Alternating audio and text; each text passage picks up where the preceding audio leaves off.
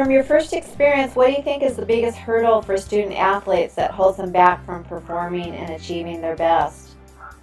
I think really there's problems that come along when you're not mentally tough.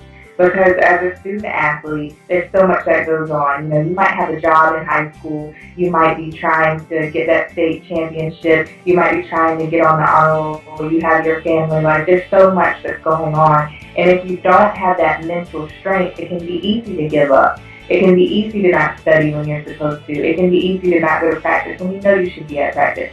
And so I try to develop that in young athletes to become mentally strong and tell yourself that you can do whatever you put your mind to.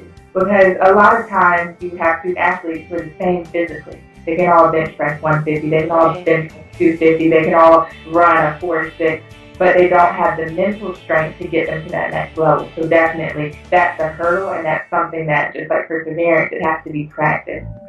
Go to sportsmentaltoughness.com to get your free video training and guided visualization MP3 on how to perform under pressure. I'm Craig Sigl, the Mental Toughness Trainer.